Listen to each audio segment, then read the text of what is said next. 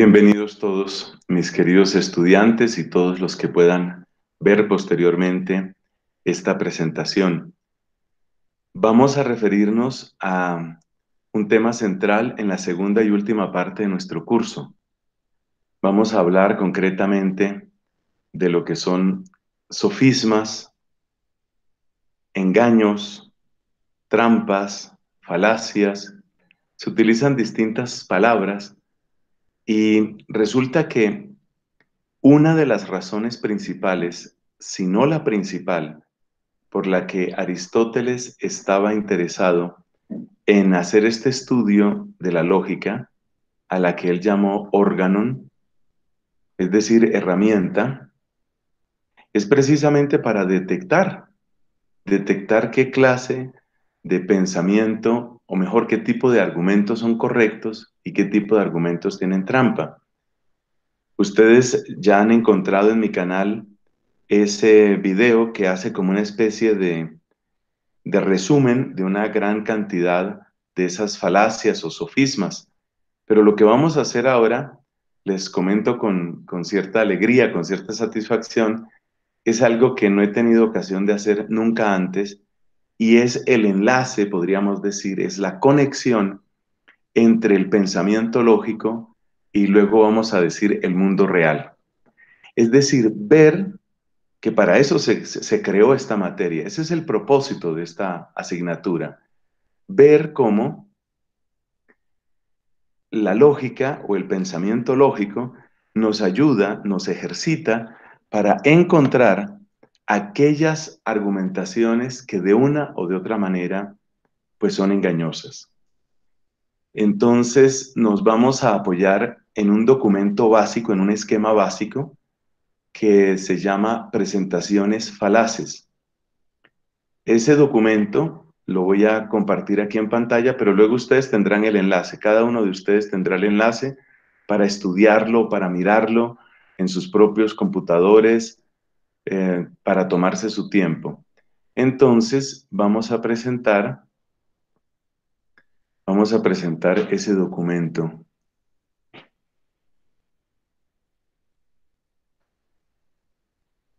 Este es el documento, ustedes deben tenerlo en pantalla en este momento.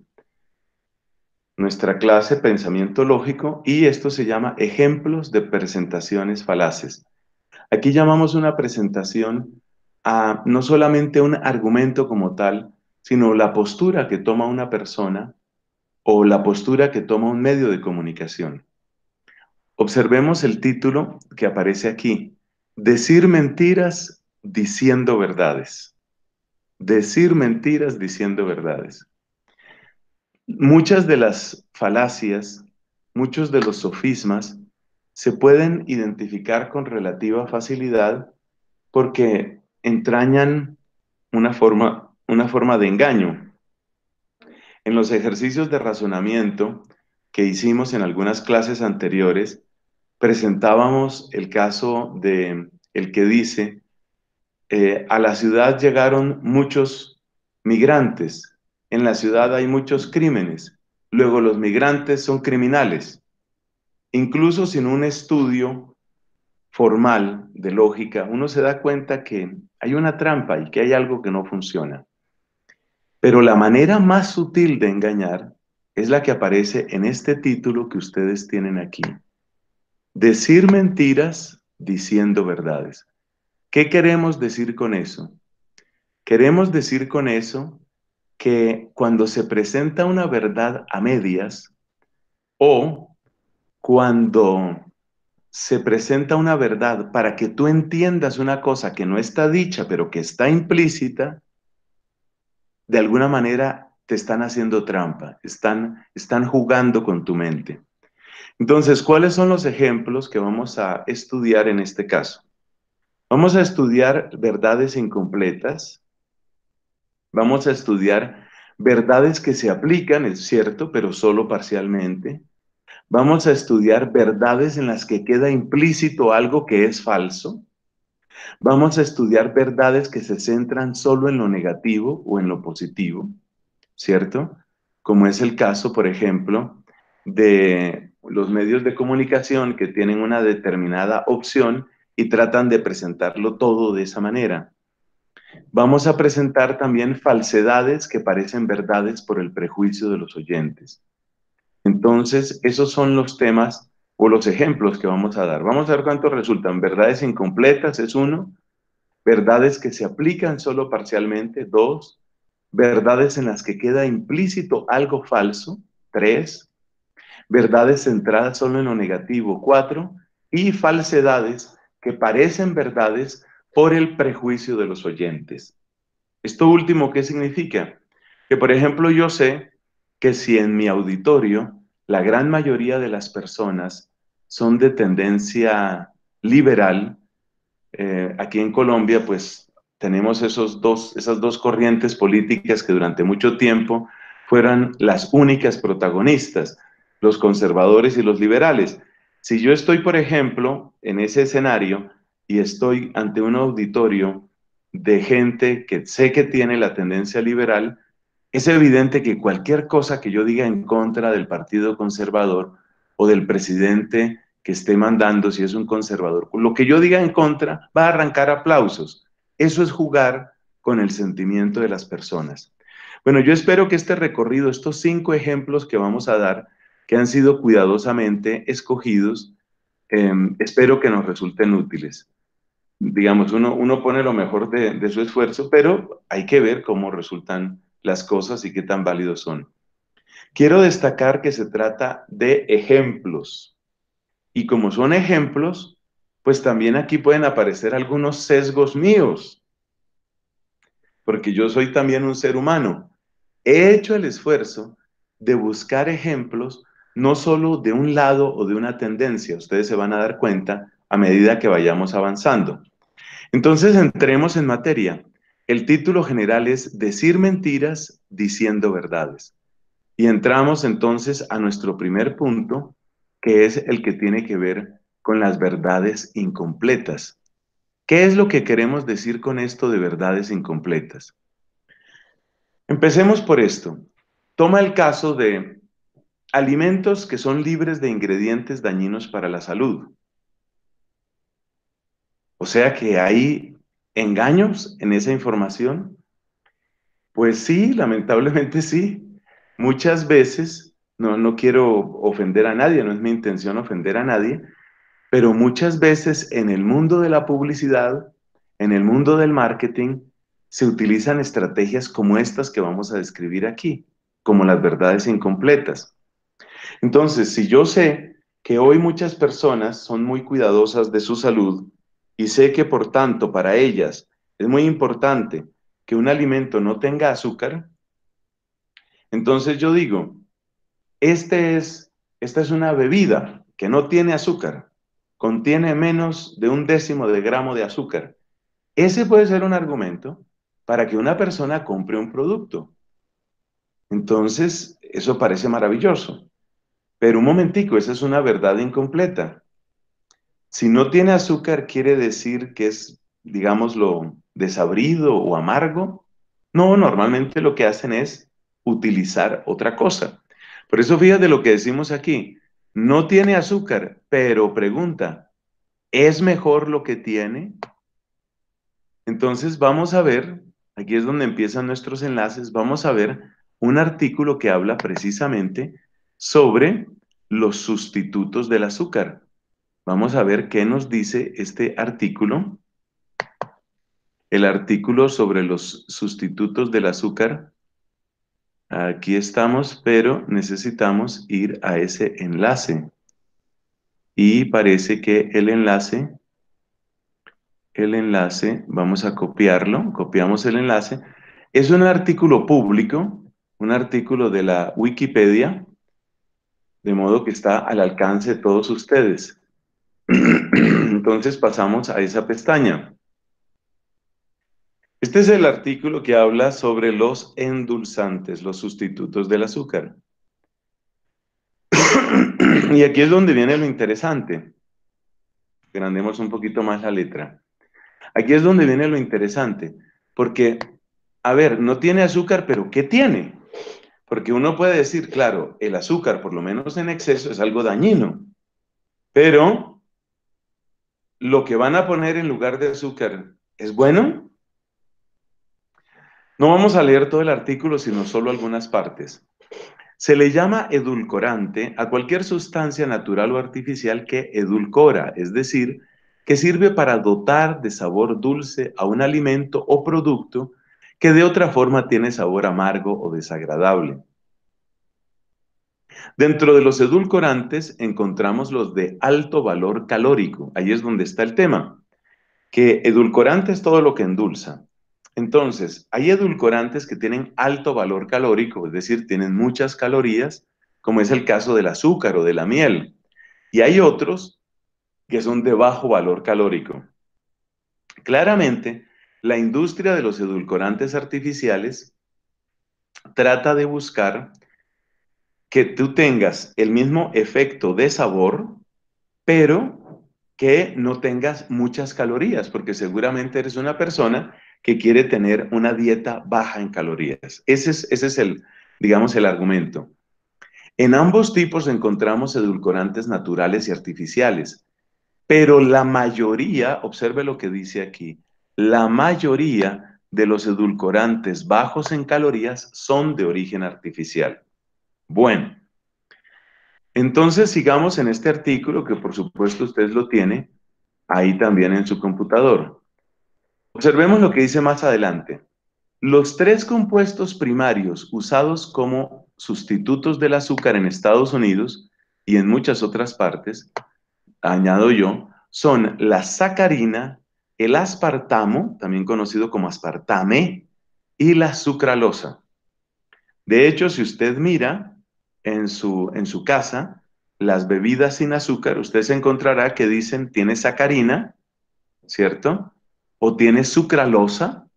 Hoy, por ejemplo, en todo lo que son eh, yogures, en todo lo que son kumis, em, en, ese tipo de bebidas que quieren ser mm, orgánicamente saludables, no ponen azúcar. ¿Por qué? Porque el azúcar, pues, se supone que rompería el, el, régimen de calorías que quiere la persona. Entonces, usted revise, yo he hecho el ejercicio aquí en mi casa y usted se da cuenta que tiene sucralosa, sucralosa, sucralosa, y en el término y en las gaseosas aparece sobre todo esto, el aspartamo o aspartame. Bueno, en muchos otros países se utiliza el ciclamato y hay un edulcorante herbal llamado stevia que es muy conocido eh, en Sudamérica. El primer lugar donde yo lo vi extensamente fue en Paraguay. Se utiliza muchísima, eh, muchísimo la stevia. La stevia parece que tiene una ventaja sobre otros edulcorantes en la medida en que tiene menos procesamiento. Hay menos cuota de, de la parte artificial. Bueno, el artículo es largo, ya les dije, no lo vamos a leer todos, todo, pero ese artículo tiene aquí una serie de, tiene una serie de elementos de controversia. Entonces dice el artículo, controversias en salud sobre los sustitutos del azúcar. Y aquí hay un pequeño dato autobiográfico.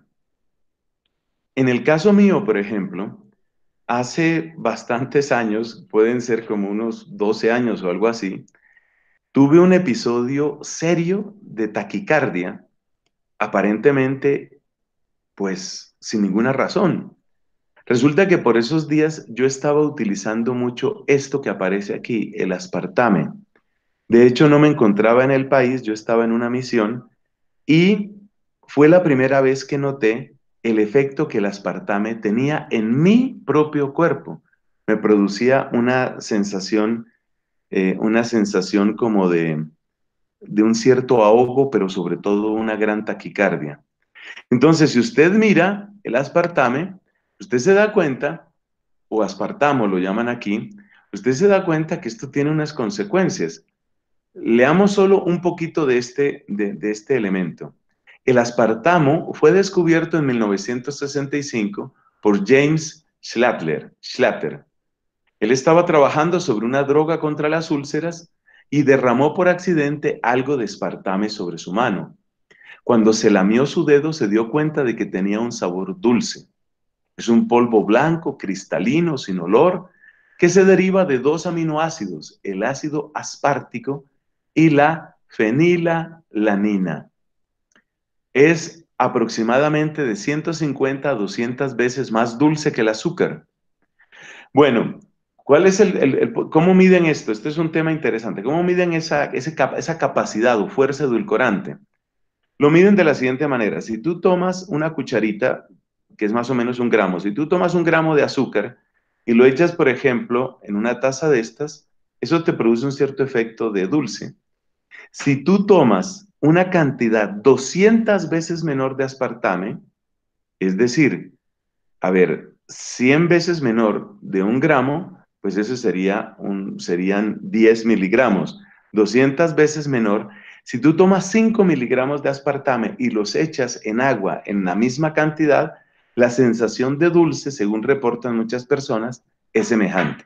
Así es como, digamos, se habla del poder edulcorante.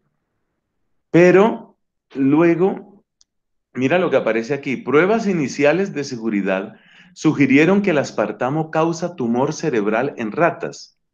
Como resultado, el aspartamo fue retirado en los Estados Unidos por varios años. En 1980, la FDA, que ustedes saben que es la, eh, la sección administrativa del gobierno de Estados Unidos para verificar lo que se llaman la comida y los medicamentos. Es algo así como Food and Drug Administration, la FDA. En 1980, la FDA convocó un consejo público de investigación que consistió en asesores independientes encargados de examinar y comprender la relación entre aspartamo y cáncer en cerebro. Sus conclusiones no fueron claras sobre si el aspartamo causa daño cerebral y recomendaron la no aprobación del aspartamo en ese momento.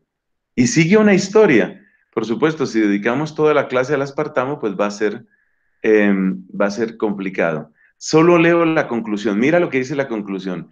Investigaciones recientes han mostrado un nexo claro, nexo claro, ojo la palabra que aparece aquí, un nexo claro entre esta sustancia y el cáncer en roedores, nexo que podría ser evidencia suficiente para que la FDA retire el aspartame, ahora dijeron aspartame, del mercado.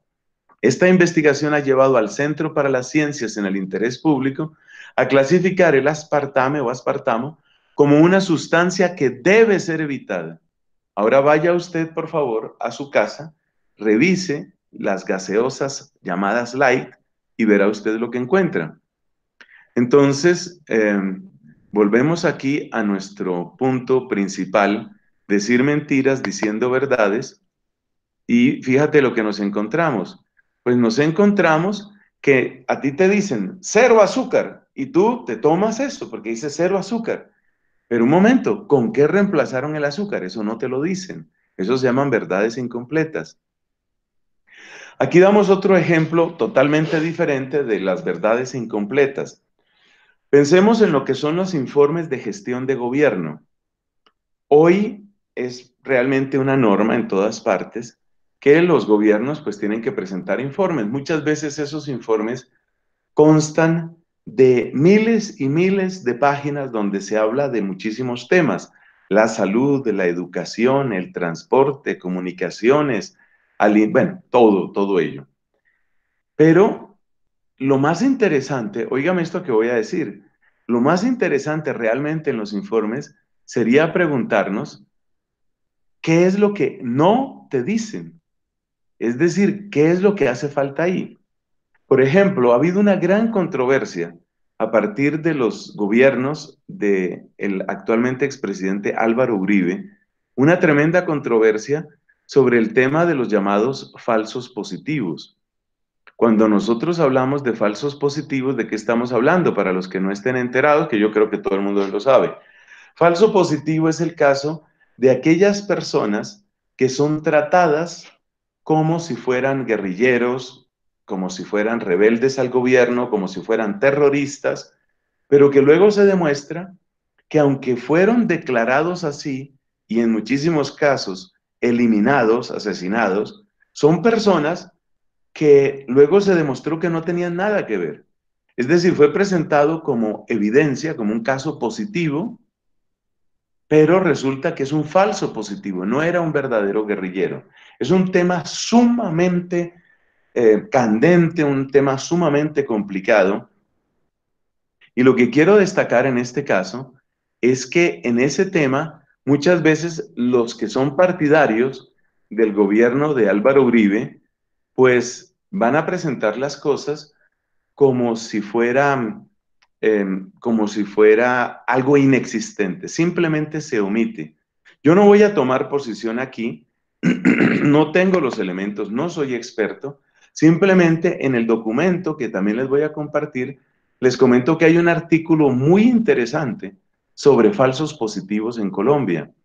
Y, digo, es interesante, entre otras cosas, por los casos que se presentan y la documentación que se presenta. Claro, eh, yo sé que es posible que entre ustedes o quienes después miren estas palabras, quizás hay algunos que son muy entusiastas de, de, los bienes que trajo el presidente Uribe. Yo mismo, como colombiano, puedo reconocer cosas buenas en su gobierno, pero en esta clase de pensamiento lógico, lo que me interesa es que nosotros destaquemos siempre que hay veces que nos presentan una cosa y no se habla de otra, no se habla de ciertos elementos. Y por eso, si uno quiere formarse en el pensamiento lógico, entonces uno tiene que hacer el ejercicio de siempre preguntarse, bueno, pero ¿qué es lo que está faltando? ¿Qué es lo que no nos están diciendo? Eso es desarrollar un pensamiento adecuadamente crítico. Que no vaya a suceder que una especie de odio irracional hacia un presidente vea todo negativo, pero que tampoco vaya a suceder que una especie de entusiasmo casi infantil hacia un presidente vea todo positivo y diga que todo, absolutamente todo, son calumnias. Vale la pena desarrollar pensamiento crítico y pensamiento lógico. Les repito, el artículo está a disposición de ustedes y de hecho pues es un artículo completamente público. Yo he querido para esta clase apoyarme en información que es completamente pública, eh, de modo que ustedes la pueden cotejar y pueden desarrollar esto. Esto se llama pensamiento crítico, pensamiento lógico. Bueno, esos son dos ejemplos simplemente de lo que llamamos verdades incompletas. Te presentan una versión, pero falta mucho. Hablemos ahora sobre verdades que se aplican, o sea, cosas que son ciertas, pero solo parcialmente, solo en determinadas circunstancias. Hablemos un poco de eso. Y vuelvo aquí con un ejemplo o un par de ejemplos que tienen que ver con la alimentación. Por ejemplo, nos dicen, y este de nuevo es un argumento de marketing, nos dicen, tal elemento no tiene grasas saturadas. En el, en el imaginario colectivo actual, en el imaginario llamémoslo, social, las grasas saturadas son una cosa desastrosa. Es decir, el que esté comiendo grasas saturadas, hermano, usted está metiéndole veneno a su cuerpo. Usted se está envenenando. Tenga cuidado, porque usted lo que está haciendo es destruirse. Eso es lo que, digamos, usualmente se piensa. Pero nos hacemos esta pregunta. Una pregunta ingenua o casi ingenua. ¿Y es que son malas todas las grasas saturadas? Quizás muchos de nosotros no nos hemos hecho esa pregunta. Y quizás es una pregunta que vale la pena que nosotros nos hagamos. ¿Son malas todas las grasas saturadas? Vamos a ver un artículo, un artículo muy interesante que para mí fue una sorpresa, o sea, yo tengo que ser sincero con ustedes y les tengo que decir que yo me enteré de esto preparando para ustedes esta clase. O sea, yo no sabía esto que les voy a decir. Bueno, nadie lo sabe todo, ni más faltaba. Entonces, eh, yo quiero presentarles, yo quiero presentarles a ustedes el tema de las múltiples funciones de las grasas saturadas. Esto se llama alimento y conciencia. Ustedes lo pueden ver aquí, se llama alimento y conciencia.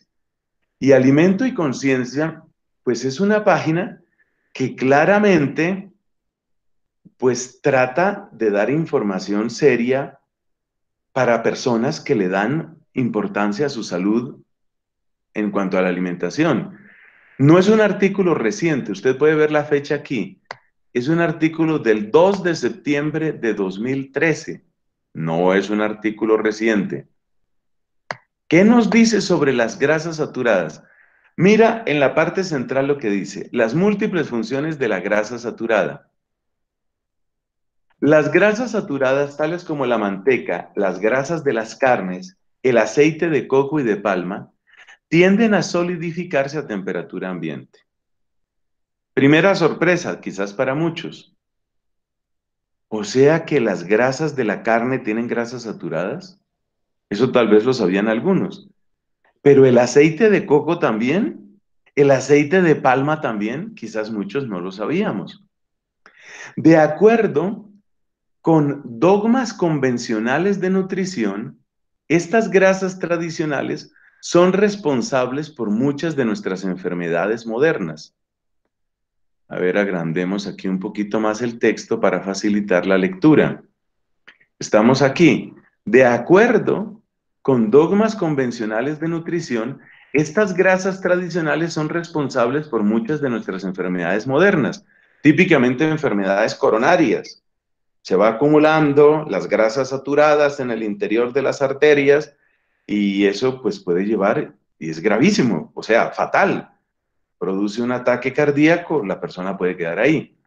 Entonces mira todo lo que se les achaca a las grasas saturadas enfermedades coronarias, cáncer, obesidad, diabetes, mal funcionamiento de las membranas celulares e incluso desórdenes del sistema nervioso como esclerosis múltiple.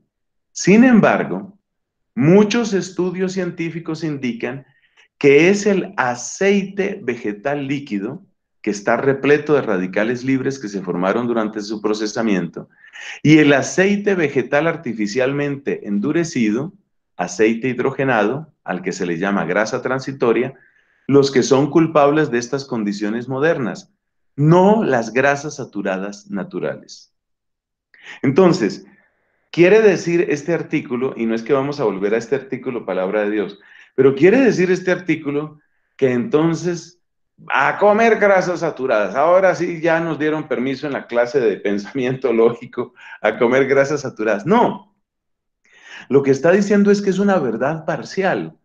No podemos decir que todas las grasas saturadas son las que hacen daño, eso no lo podemos decir. Entonces, es una verdad parcial, una verdad parcial.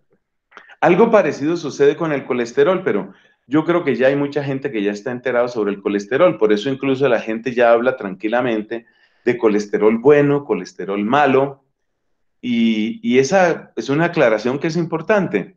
Entonces hay un artículo, hay un artículo que les puedo recomendar, también es artículo completamente público, que habla sobre el tema del colesterol, porque lo que mucha gente no sabe, incluso si tienen claro el tema de que hay colesterol bueno y colesterol malo, es que el colesterol no solo es bueno en algunos casos, sino que el colesterol es indispensable para una cantidad de procesos metabólicos y de construcción de tejido en nuestro cuerpo. Leamos solamente un poquito porque esto es lo que llamamos verdades parciales.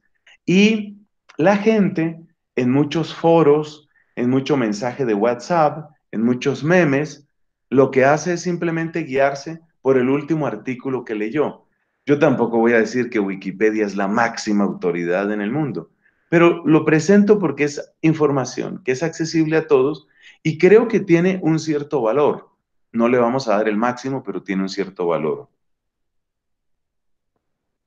El colesterol, nos dice este artículo de la Wikipedia, es un lípido del tipo esterol que se encuentra en la membrana plasmática eucariota los tejidos corporales de todos los animales y en el plasma sanguíneo de los vertebrados.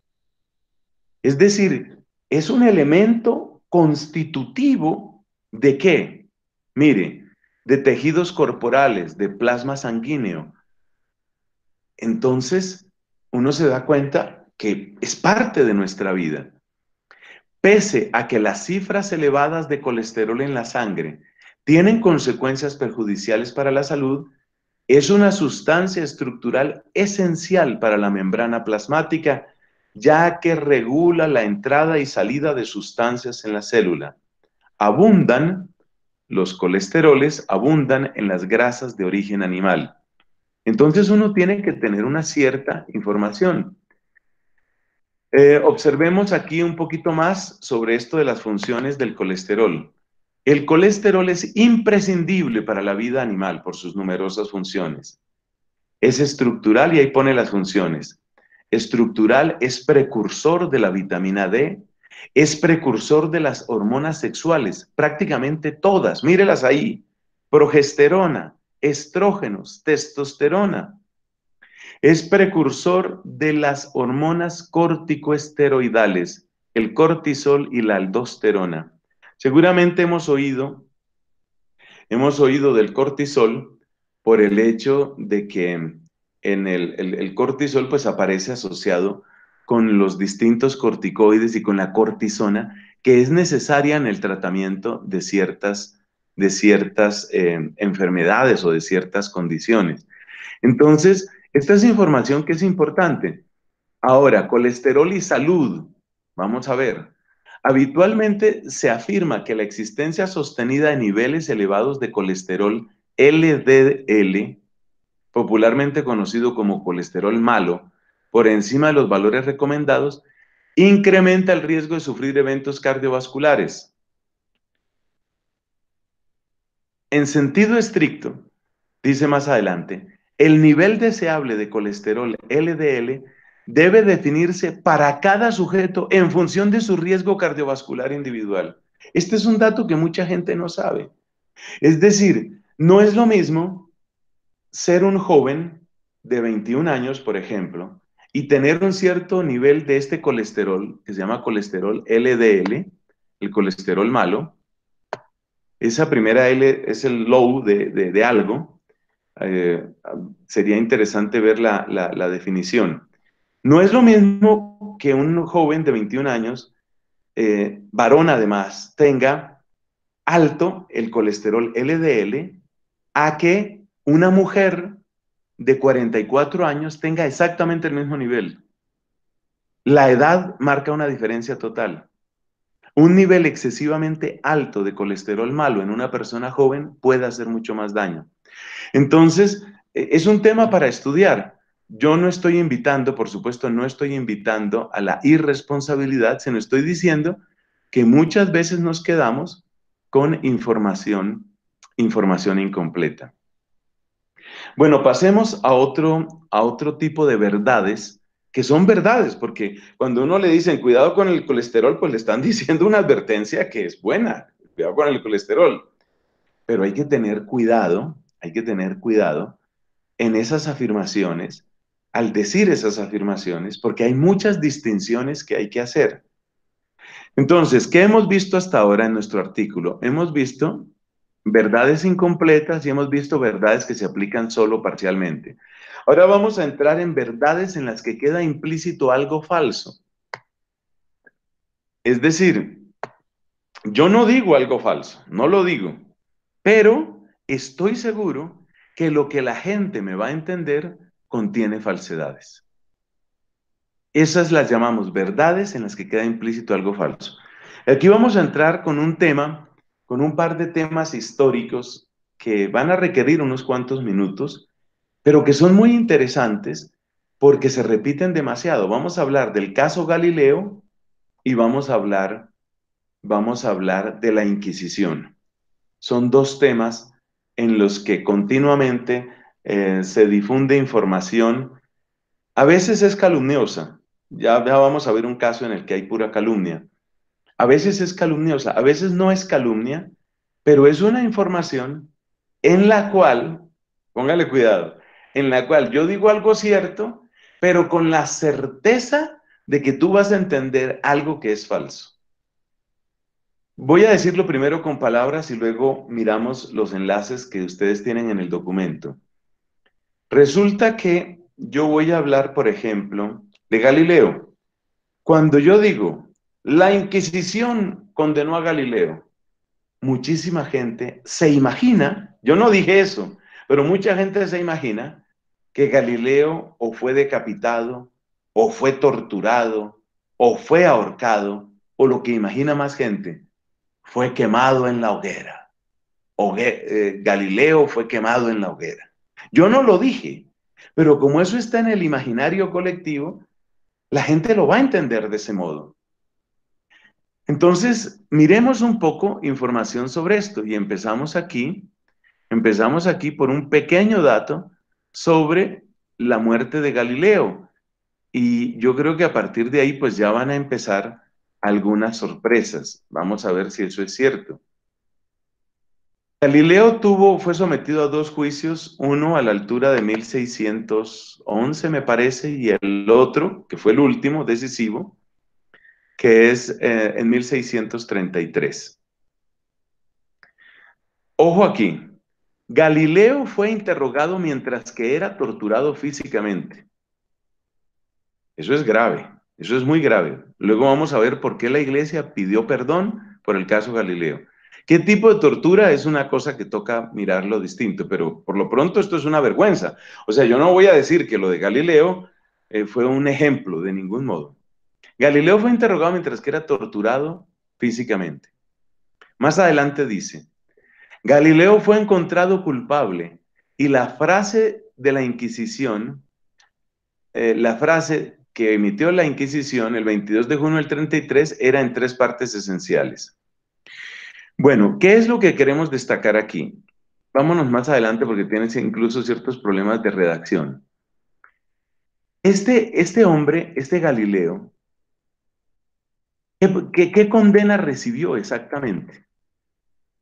Dice aquí, fue encontrado vehementemente sospechoso de herejía. Fue sentenciado a encarcelamiento formal por placer de la Inquisición, o sea, la opinión de la Inquisición. Al día siguiente, este fue conmutado por arresto domiciliario. Fíjate esta frase que es la que no conoce mucha gente. Arresto domiciliario, el cual permaneció bajo el resto de su vida. Su diálogo ofensivo, que se llama el diálogo sobre dos mundos, fue prohibido y en una acción no anunciada en el juicio se prohibió la publicación de cualquiera de sus obras, incluidas las que pudiera escribir en el futuro. Según la leyenda popular, después de su abjuración, Galileo supuestamente murmuró la frase rebelde y sin embargo se mueve, e por si mueve. Pero no hay evidencia que realmente haya dicho esto o algo similar. Después de un periodo con el amigable arzobispo Piccolomini en Siena, a Galileo se le permitió regresar a su villa en Arcetri, cerca de Florencia. Entonces, si te diste cuenta de lo que dijeron, ¿no? Dice aquí, después de un periodo, se supone que estaba en arresto domiciliario, pero ya era un hombre mayor en todo caso.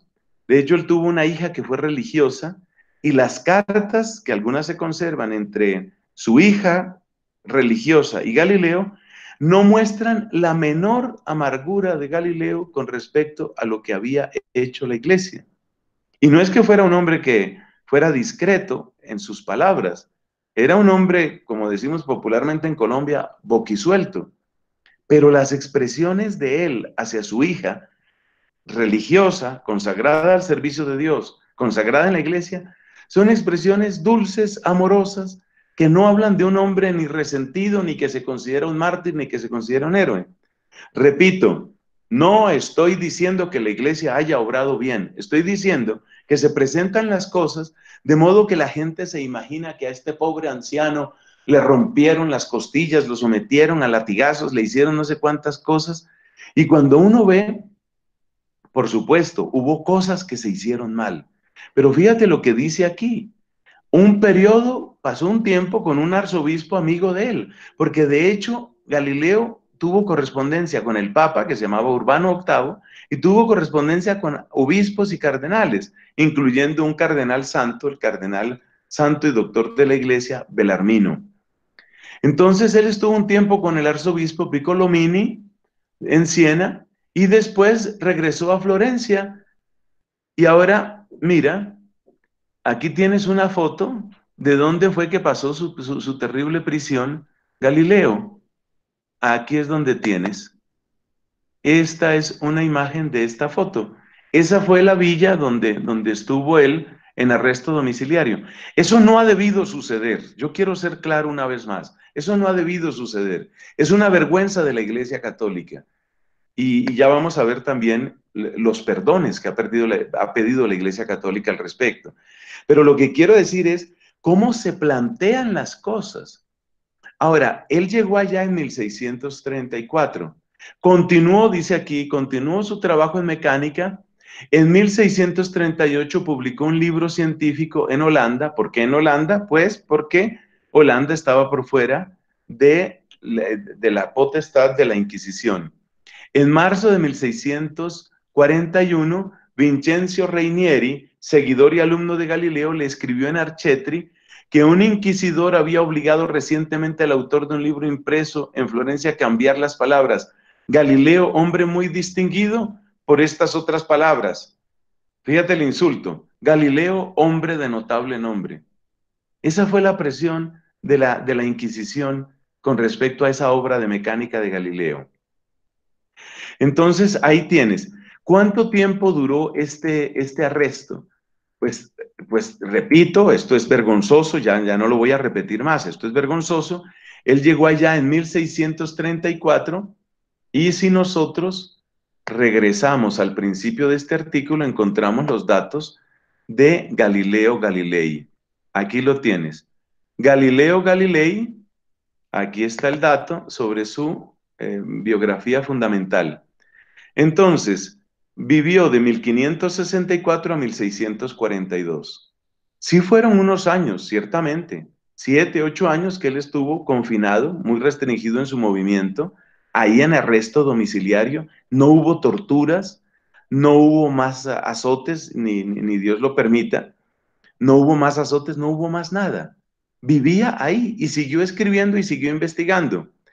Bueno, pero volvamos a ver qué más datos tenemos sobre Galileo, porque este es el ejemplo de verdades en las que queda algo implícito que es falso. Un dato que mucha gente no conoce, el Papa nunca firmó la condena a Galileo. Este es un dato que mucha gente no conoce. Siempre se quiere presentar como si fuera, eh, como si fuera toda la iglesia en contra de Galileo, y resulta que los datos que tenemos no van por ese lado. Esta es una publicación, esto salió en muchos periódicos pues, de España y de otros lugares. Yo trato de buscar fuentes en español.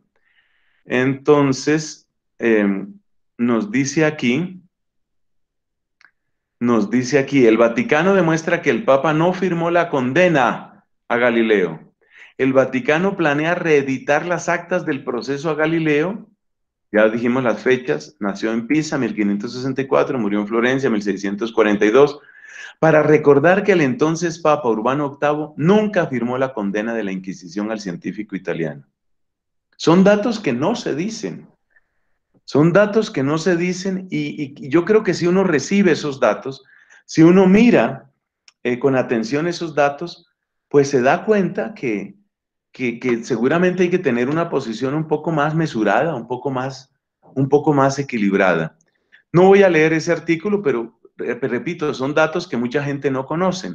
Y claro, como mucha gente no conoce esto, cuando nos presentan simplemente el caso Galileo, pues eso da para todo tipo de ataques contra la iglesia sin ningún matiz. Lo último que quiero compartirles del caso Galileo también tomado la Wikipedia, he tratado de buscar fuentes que no tengan una relación inmediata con, eh, con nuestra Iglesia Católica. Mira, eh, hablando del caso Galileo, encontramos esta sección de este artículo, Acciones de la Iglesia Católica Moderna. Me paso a la parte de eh, bueno, empecemos un poquito con, lo que aparece ahí. En 1758, la Iglesia Católica eliminó la prohibición general de libros que abogaban por el heliocentrismo. Durante mucho tiempo, la Iglesia tuvo recomendaciones de libros que debían leerse y prohibiciones, se llamaba el Index Librorum Prohibitorum, el índice de libros prohibidos, y Pues sí, es una vergüenza de la iglesia. Hubo que esperar a 1758 para que las obras, las obras que hablan de heliocentrismo, que era pues la teoría que sostenía Galileo, además con muy buenos argumentos, Galileo era un científico, y él eh, llegó al heliocentrismo, entre otras cosas, viendo la manera como se movían las lunas de Júpiter, lunas que él descubrió precisamente por el uso del telescopio, es de los precursores en el uso del telescopio. Pero en 1758 ya salió, ya salió, eh, el, digamos, del índice de libros prohibidos salió el tema del heliocentrismo. Los pasos más notables, sin embargo, están más adelante. El Papa Juan Pablo II expresó la esperanza en 1979. ¿Cuándo llegó Juan Pablo II al pontificado? Pues llegó en 1978. O sea que escasamente había pasado un año cuando ya Juan Pablo II expresó lo que vamos a decir aquí.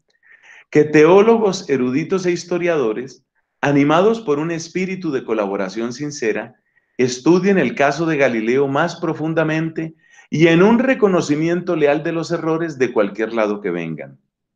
Hay que tener en cuenta que Galileo se metió en muchas cosas, él no era solamente un científico, lo mismo que otros estudiosos, intelectuales y científicos de la época. Eh, cuando murió Galileo fue el año de nacimiento de Isaac Newton, por ejemplo. Tanto Galileo como Newton, como muchos otros, escribían de muchos otros temas. Galileo, por ejemplo, tenía sus propias teorías de interpretación de la Biblia. Y el hecho de que él difundiera esas teorías de interpretación de la Biblia fue lo que primero llamó la atención eh, de las autoridades eclesiásticas. ¿Por qué este hombre está hablando de Biblia? Entonces, por eso el Papa Juan Pablo II dice, un momento, vamos a mirar, vamos a mirar no solo errores que claramente se cometieron de parte de la iglesia, sino otros errores, otros errores. Los criterios exegéticos o hermenéuticos de Galileo ¿Eran correctos? ¿Qué implicaciones tuvieron o qué espacio tuvieron dentro del proceso? Son cosas interesantes.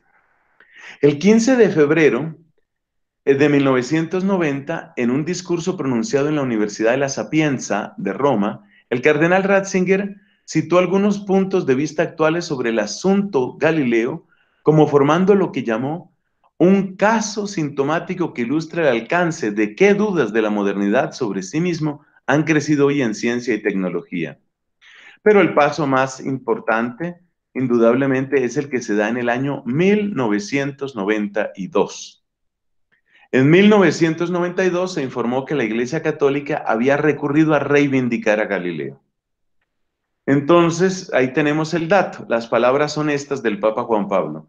Gracias a su intuición como un físico brillante y al confiar en diferentes argumentos, Galileo, quien prácticamente inventó el método experimental, entendió por qué solo el Sol podía funcionar como el centro del mundo, como se conocía entonces, es decir, como un sistema planetario.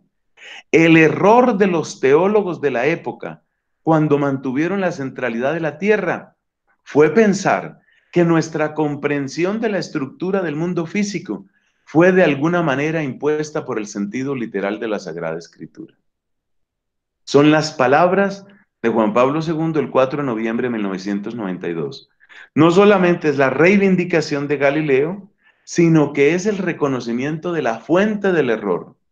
Lo repito, el error de los teólogos de la época, cuando mantuvieron la centralidad de la Tierra, fue pensar que nuestra comprensión de la estructura del mundo físico fue de alguna manera impuesta por el sentido literal de la Sagrada Escritura. Eso lo encuentras en el número 1264, eh, perdón, lo encuentras en el número 44 eh, de esa intervención del Papa Juan Pablo II el 4 de noviembre de 1992.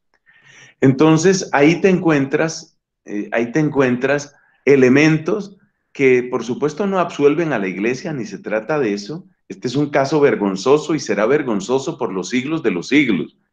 Pero, sin embargo, lo que quiero decir es que no se hacen estas matizaciones. Y cuando no se hacen estas matizaciones, lo que se tiene es simplemente un ánimo de destruir a la iglesia. Además, yo quiero decir otra cosa. Aquí la iglesia está reconociendo sus errores. Yo hago esta pregunta. ¿Quién más reconoce errores? ¿Quién más? ¿Ustedes han visto en alguna parte que haya una declaración pública de los errores del comunismo soviético, por ejemplo?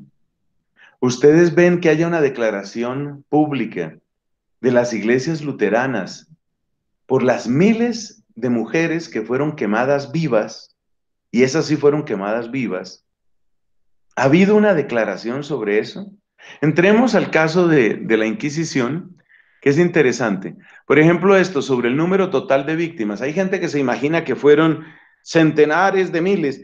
Una sola persona hubiera sido demasiado. Yo no voy a defender la Inquisición. Entendámonos, no se trata de eso. No, no se trata de defender la Inquisición. Se trata de encontrar la perspectiva, porque cuando las personas hablan así en bloque y sin hacer estas precisiones y estas matizaciones, realmente están faltando a la verdad y están haciendo un daño muy grande. Entonces, hablemos sobre el número total de víctimas. Del número total de víctimas encontramos unos datos interesantes, unos datos muy interesantes que vamos a examinar aquí brevemente, para que nos demos cuenta cómo hay verdades que se quedan a medias. Mira lo que dice aquí. Me voy a la parte de los historiadores modernos porque ahí se cifran, eh, se nombran otras cifras de otras épocas. Observen lo que tienen en pantalla. Los historiadores modernos han emprendido el estudio de los fondos documentales de la Inquisición. En los archivos de la Suprema, actualmente Archivo Histórico Nacional de España, se conservan en los informes que actualmente debían remitir todos los tribunales locales las relaciones de todas las causas, desde 1560, guarde esa cifra, hasta 1700. Estos son 140 años. 140 años. Ese material proporciona información de 49.092 juicios que han sido estudiados por Gustav Henningsen y Jaime Contreras. Según los cálculos de estos autores, un 1.9% de los procesados fue quemado en la hoguera. De nuevo, no voy a defender la Inquisición de ninguna manera. Lo que quiero es que tengamos perspectiva. Hagamos un poco de aritmética. Supongamos que no hubieran sido 49 mil, sino 50 mil juicios. Observe que estamos hablando de 50 mil juicios, 50 mil juicios en 140 años. Por favor, tome en cuenta esas cifras. 50 mil juicios en 140 años. estas cifras yo creo que son interesantes. Eh, ¿Interesantes en qué sentido? Interesantes en el sentido de que estas personas debemos ponerlas en paralelo con otros, con otras catástrofes, con otras guerras. Eso, ese, es el, ese es el ejercicio que hay que hacer. O sea, cuando tú piensas, por ejemplo, que se habla de 50 millones de personas eliminadas por el comunismo soviético, cuando tú piensas que se habla de 20 millones de víctimas en la Segunda Guerra Mundial, aquí estamos hablando de 50 mil y lo otro son 50 millones, 50 mil juicios. Pero de esos 50 mil juicios nos dicen que el 2%, el 2% de esos 50 mil terminaron en ejecuciones. ¿Qué es el 2% de 50 mil? Es lo mismo que el 1% de 100 mil, es decir, unas mil personas. Estamos diciendo que en el curso de 140 años, de 140 años, fueron finalmente ejecutadas, lo cual siempre será una vergüenza. Nunca debió suceder. Pero es adquirir perspectiva, por favor. Adquirir perspectiva. Vaya usted, no lo vamos a hacer aquí porque el tiempo está corriendo. Mire usted, por ejemplo, temas como la Junta Militar en Argentina y averigüe el número de víctimas de la Junta Militar en Argentina en el espacio de tiempo que ellos tuvieron, que creo que no alcanzó una década número de víctimas. Y esas víctimas fueron torturadas, desaparecidas y ejecutadas, por decir un caso solamente. Miren los, regímenes profascistas en Brasil. Estamos hablando de época reciente. Y busque el número de víctimas. Aquí estamos diciendo que la Inquisición, según cifras de estos historiadores, la Inquisición llegó a mil víctimas en 140 años. Para simplificar todavía más las cosas, si hubieran sido mil víctimas en 100 años, estamos diciendo que serían menos de 10 personas por año. Eso, vuelvo y repito, no me canso de repetirlo, es una vergüenza. Pero estamos diciendo 10 víctimas por año. ¿Cuáles son las víctimas por año que producen otros regímenes, otros torturadores, otros que desaparecen o que se producen? No lo he mencionado y lo puedo mencionar. O que se producen, por ejemplo, por el aborto. Entonces, número total de víctimas. Hay un artículo muy interesante que también pertenece a ese mismo espacio, que es el que nos habla sobre la leyenda negra, es decir, quienes empezaron a inflar las cifras. Leyenda negra de la Inquisición. Mire, esto es bueno que ustedes lo lean. Todos estos enlaces los tienen en el documento que les voy a compartir. Esto es desarrollar pensamiento lógico y pensamiento crítico. Cuando a mí me sueltan la Inquisición, no, pero es que tú ya quieres ser de la Inquisición, es que eres inquisidor. Tú te has dado cuenta de que la Inquisición ejecutó menos de 10 personas por año y tú te has dado cuenta, 10 personas por año en todos los territorios, porque la Inquisición española regía, pues donde regía el imperio español. Es decir, en un área que es cuatro o cinco veces el área de Europa, en un área así, se ejecutaron 10 personas por año. Vergonzoso. Es realmente humillante saber que eso sucedió. Pero pongámosle perspectiva a las cosas. Y de nuevo yo pregunto, ¿y quiénes piden perdón? ¿A quién se le exige que pida perdón y a quién no? Entonces, este artículo es muy bueno porque muestra ¿De dónde salió la, eh, de dónde salió la, leyenda negra? Es decir, esto de presentar a la Inquisición como lo peor de lo peor de lo peor. ¿De dónde salió? A mediados del siglo XVI, coincidiendo con la persecución de los protestantes, empieza a aparecer en las plumas de varios intelectuales europeos protestantes una imagen de la Inquisición que exagera sus rasgos negativos con fines propagandísticos. No voy a leer más. Ahí les queda a ustedes ese material que me parece que es, que es muy importante. Muy importante porque es lo que uno necesita. Hablemos de un tema parecido, el tema de la cacería de brujas. A mí me asombra la cantidad de católicos que no saben que la cacería de brujas fue fundamentalmente un hecho protestante. ¿Usted ha oído la expresión las brujas de Salem? Salem, S-A-L-E-M, las brujas de Salem, que fue uno de los episodios más vergonzosos de la historia de la humanidad y de la historia del cristianismo. El contexto es completamente protestante, pero la gente cree que la cacería de brujas fue únicamente la Inquisición. Entonces, cuando se habla de cacería de brujas, queda implícito algo que es falso. Aquí está, aquí está este artículo es, eh, la, realmente la mejor información que encontré está en, en idioma inglés, entonces vamos a asomarnos por un momento, vamos a asomarnos por un momento a ese artículo. Es un artículo que publica eh, el periódico The Guardian, lo publica The Guardian y es un artículo muy interesante. Aquí lo tienen ustedes en pantalla. Entonces, empieza el título. ¿Por qué las guerras de religión de Europa pusieron a 40 mil brujas, entre comillas, llevaron a 40 mil brujas, entre comillas, a una muerte espantosa? Why Europe's wars of religion put 40,000 witches to a terrible death. Es un artículo que no lo escribe un católico. Este es un artículo que, como ustedes se pueden dar cuenta aquí, es del Reino Unido, este es el UK, ¿sí? Y básicamente la idea que presenta es esta. The persecution of witches came down to a battle for the market share of post-Reformation Christians, according to a paper by two economists. Ojo, son dos economistas, no son teólogos, no son católicos. Están haciendo un estudio de por qué aumentaron las muertes de cacería de brujas, tanto del lado católico como del lado protestante. O sea que se habla aquí de 40 mil, 40 mil muertes.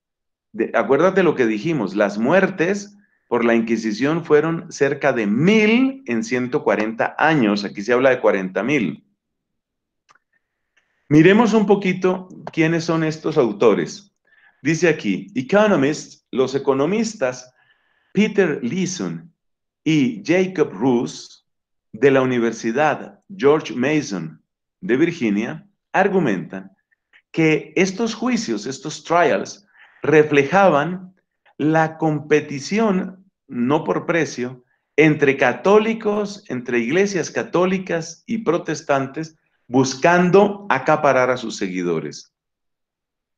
Bueno, vamos a ver aquí. Ellos alcanzan su conclusión después o a partir del análisis de nuevos datos que cubren más de 43 mil personas que fueron ajusticiadas por brujería en 21 países europeos. 21 países europeos. Y mira este dato, que es con el que yo quisiera que nos quedáramos. Los datos muestran, aquí lo voy a subrayar un momento. A ver, pongamos bien esto. Los datos muestran que la cacería de brujas empezó, arrancó, cuando arrancó solamente después de la Reforma Protestante de 1517, siguiendo la rápida difusión del protestantismo. Es impresionante, es impresionante. Y es impresionante ver que el país que según los datos más ejecutó eh, generalmente eran mujeres, el 80% de los ejecutados eran mujeres. El país que más ejecutó mujeres fue la Alemania protestante. Esos datos los encuentra usted donde se habla exactamente de, qué fue lo que sucedió. Vamos a, vamos a mirar un poquito sobre esas cifras, porque es que cuando uno le hablan de cacería de brujas, entonces uno piensa inmediatamente, no, pues esa es la iglesia, ¿no? Este es otro artículo de la Wikipedia. Eh, es bastante más completo lo que aparece en la versión en inglés de lo que aparece en, en la versión en español. A ver dónde está esto. ¿Dónde está Early Modern Europe? Vámonos aquí. Aquí está. Dice aquí, los juicios por brujería en la etapa temprana de la Europa moderna sucedieron en oleadas que después se retiraban. Hubo juicios en los siglos XIV y XVI, pero but then the witch scare went into decline. Pero después este miedo a las brujas disminuyó y volvió a se volvió otra vez, resurgió hasta alcanzar un pico en el siglo XVII, o sea, los años 1600, particularmente dentro de la Guerra de los Tres Años. Bueno, hay cosas muy interesantes aquí sobre, sobre lo que entonces sucedió. Dice este otro párrafo, la cacería de brujas se vio a todo lo largo de la Europa moderna en sus primeras etapas, pero la, el área más significativa de cacería de brujas en la Europa moderna se considera que es el centro y el sur de Alemania. Alemania empezó un poco tarde en términos del número de casos o el número de juicios comparado con otras regiones de Europa. La cacería de brujas primero apareció en grandes números en el sur de Francia y en Holanda. Los, datos de Holanda son interesantes para quien quiera profundizar en esto.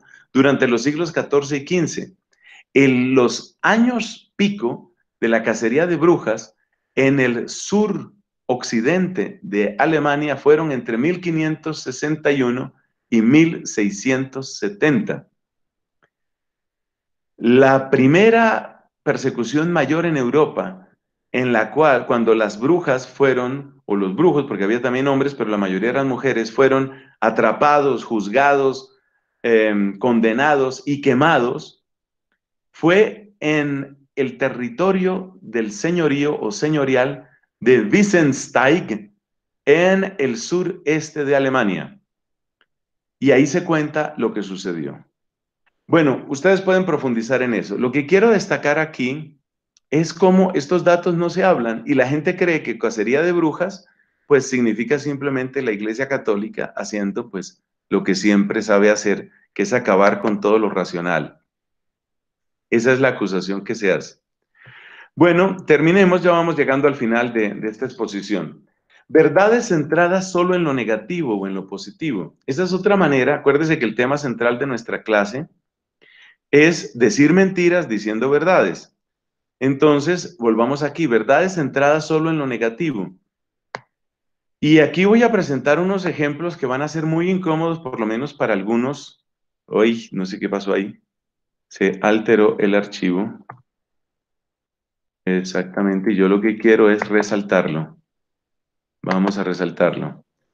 Entonces, eh, hay, hay algunas páginas de tendencia súper conservadora, súper tradicionalista, o como a veces se llama, de derecha, que se especializan en presentar solamente lo que es negativo o ellos consideran negativo. Yo personalmente, y soy sacerdote católico, yo personalmente eh, tengo bastante distancia y desconfianza, no que todo lo que digan sea mentira, pero bastante distancia y desconfianza de algunos portales católicos y uno de ellos que, pues sí, hay que decirlo porque eso se llama ser, honesto. Uno de ellos es, por ejemplo, este, que se conoce como. Info Vaticana no es un portal católico que yo pueda recomendar. Entonces usted se da cuenta el tipo de artículos que aparecen aquí. La Santa Sede se compromete a donar a la Organización Mundial de la Salud. Es una noticia grave, porque luego vamos a ver la agenda que tiene la Organización Mundial de la Salud. Otro, ¿podría la política curial detener un juicio financiero del Vaticano? Otro, otra noticia. Museos sí e iglesias no. El Vaticano conmemora mañana el saco de Roma. El Vaticano retrasa la colecta del óvulo de San Pedro a octubre. Entonces, tú miras estas noticias y claro, hay algunas que son relativamente neutras. Por ejemplo, esto, el, el Papa aprueba la Fundación Vaticana Juan Pablo I. El Vaticano comenzará a abrir sus puertas el próximo 4 de mayo. Pero si tú miras el conjunto de noticias, te das cuenta que la orientación de ellos es o noticias, llamémoslas neutras, o noticias que realmente ponen un tono de completa desconfianza sobre lo que se está haciendo en el Vaticano y sobre lo que está haciendo el Papa. Es, es, es, una, es un tema de desconfianza, desconfianza. Yo no estoy diciendo, atención, yo no estoy diciendo que ninguna de estas noticias sea mentira. Por ejemplo, esto de que la Santa Sede va a donar o va a dar algún dinero a la Organización Mundial de la Salud, yo no estoy diciendo que eso sea mentira. Seguramente es cierto. Pero lo que quiero decir es que solo se presentan algunos aspectos. Oye, es que yo he sabido por otros caminos que el Papa Francisco hizo una donación de muchísimos miles de euros para unos respiradores que se necesitaban. Y no es la primera vez que el Papa directamente ha querido que se hagan donaciones para aliviar situaciones humanitarias. ¿Por qué esas noticias no aparecen aquí? Los mensajes de esperanza que el Papa ha querido dar, ¿por qué no aparecen aquí? La manera como él ha sostenido sus catequesis, el trabajo continuo que se llevan los dicasterios, ¿por qué eso no aparece aquí? Entonces, fíjate, no nos están diciendo mentiras, pero se hace énfasis solo en ciertos aspectos y esos aspectos, pues, son los únicos que parecen interesar. Entonces se va construyendo una cierta imagen.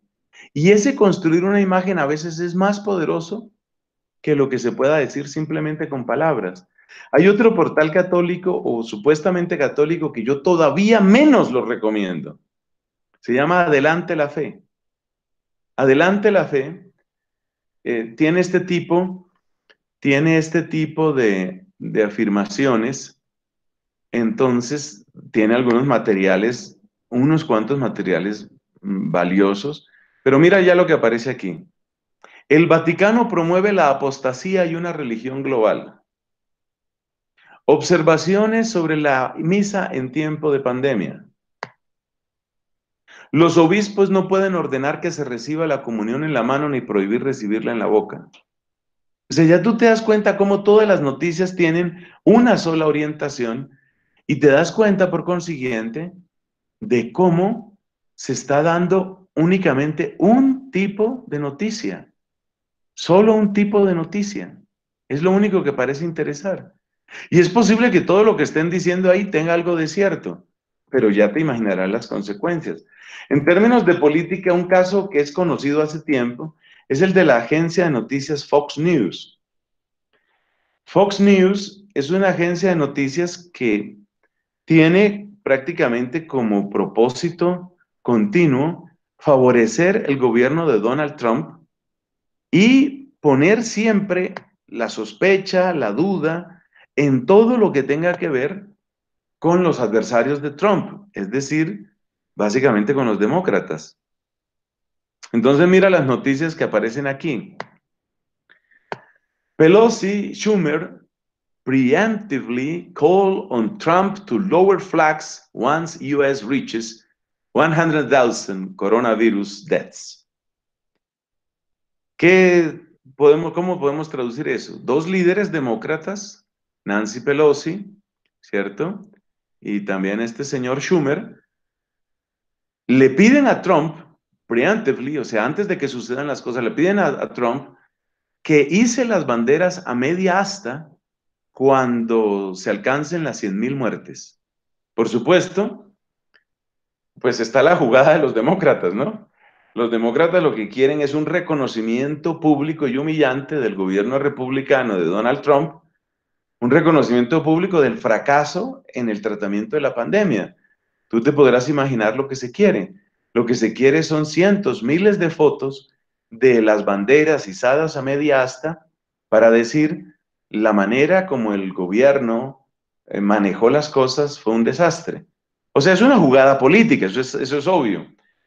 Pero si ves que esa es la noticia que aparece, ¿no? Es decir, es una noticia que está denunciando la jugada demócrata.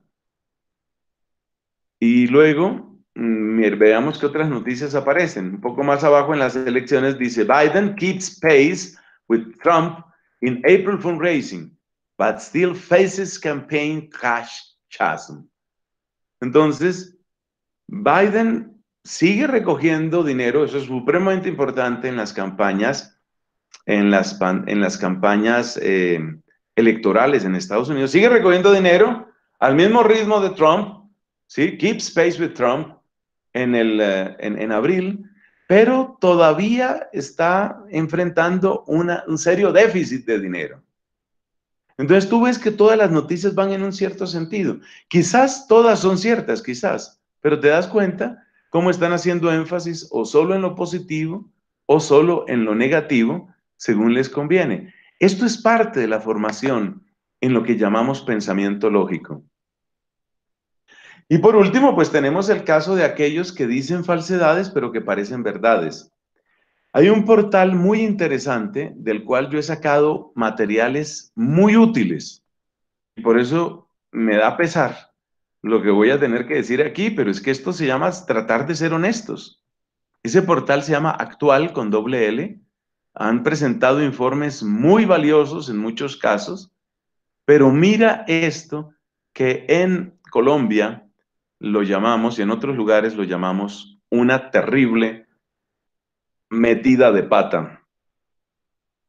Este portal actual, que es un portal de derechas y por consiguiente absolutamente opuesto a todo lo que tenga que ver con, eh, pues con los gobiernos de izquierda y con las tendencias de izquierda, pues no pierde oportunidad para criticar al gobierno.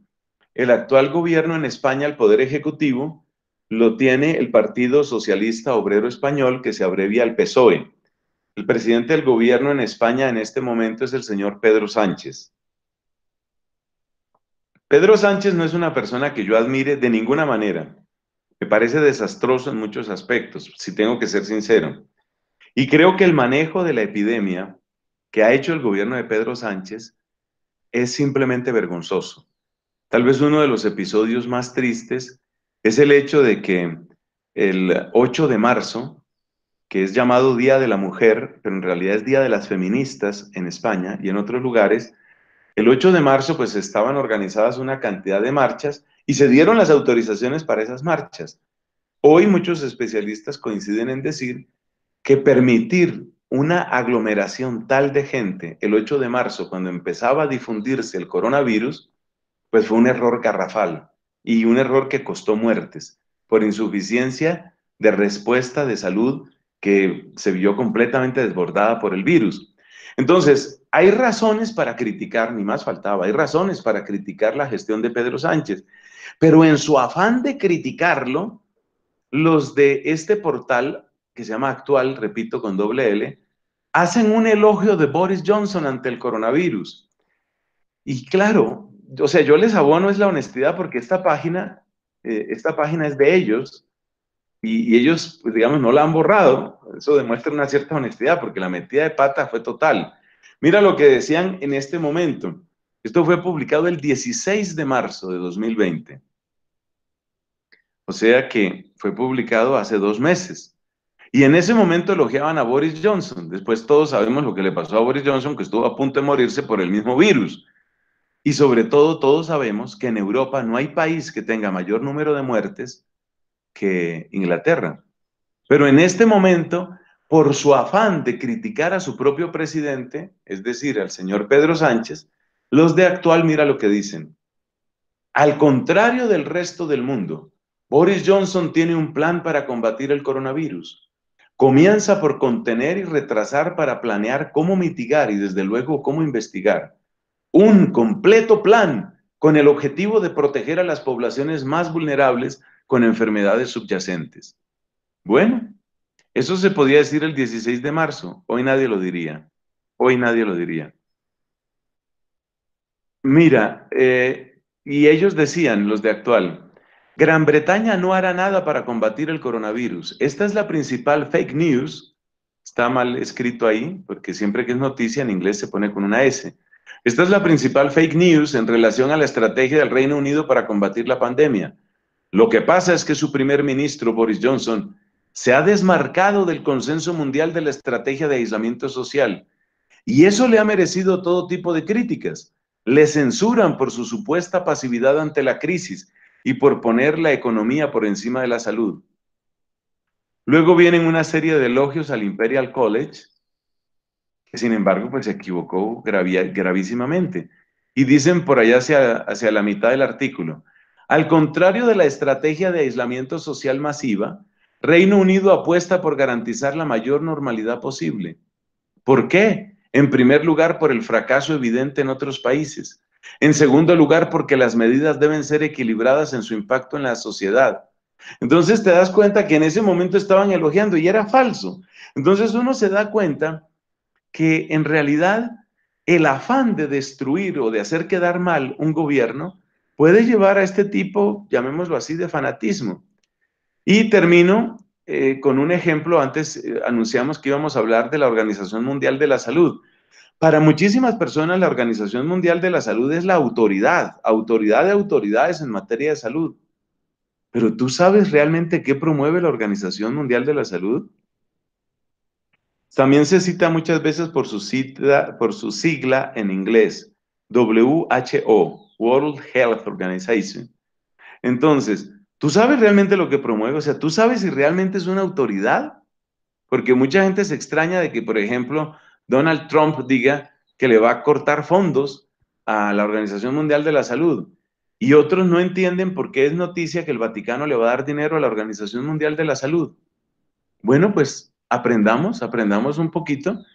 Hay actualmente una campaña que la está liderando este sistema de campañas públicas que se llama Citizen Go, Citizen Go, esta campaña eh, aparece aquí. Y es una campaña en la cual se le pide al presidente que deje de seguir los criterios de la Organización Mundial de la Salud. Yo quiero que dediquemos un par de minutos a ver cuál es el argumento.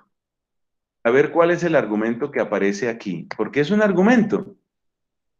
Bueno, ahí nos, agrandaron el botón de la firma y en este momento no la vamos a firmar. Esta es una noticia del 19 de mayo, es muy, muy reciente. Mira lo que dice aquí. La Organización Mundial de la Salud se vende públicamente como la mayor autoridad mundial en materia de salud. Supuestamente dedican sus desvelos a nuestra salud y bienestar. Sin embargo, no es verdad. Y vamos a ver si mucha gente conoce lo que vamos a decir aquí de la Organización Mundial de la Salud.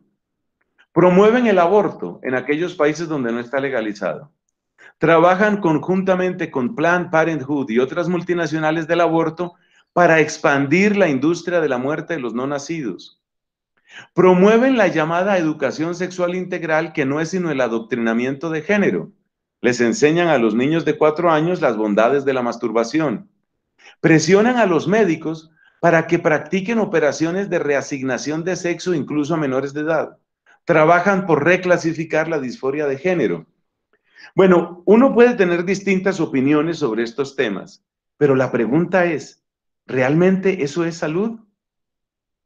Es decir, si la gente supiera esto, si esta información que aparece aquí fuera conocida muy, muy ampliamente, seguro, seguro que la gente seguiría diciendo que la Organización Mundial de la Salud es la primera autoridad mundial sobre la salud.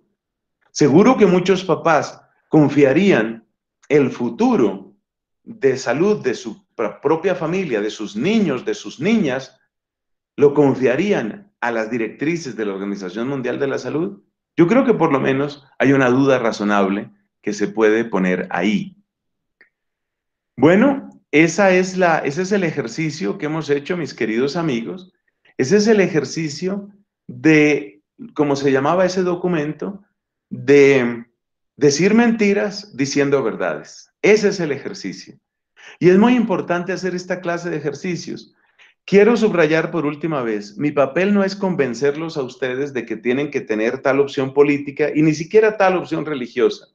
Yo lo que pido es que estemos despiertos porque si uno realmente cultiva un pensamiento crítico, hay muchas, pero muchas menos posibilidades de que puedan engañarnos. Muchísimas gracias por su tiempo y que Dios nos bendiga.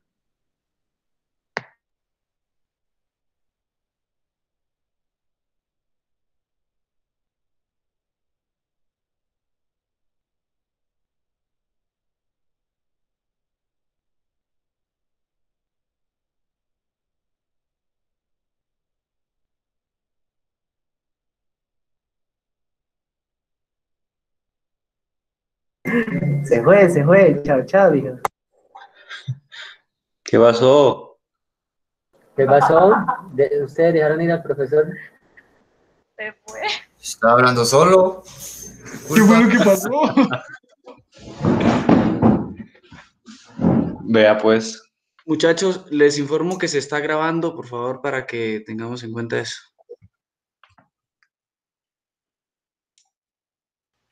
Sí, muchachos, de por bueno, la grabación. Me imagino que él volverá a entrar, ¿no? Sí, yo creo. Vamos a ver. Sí, esperemos, a ver.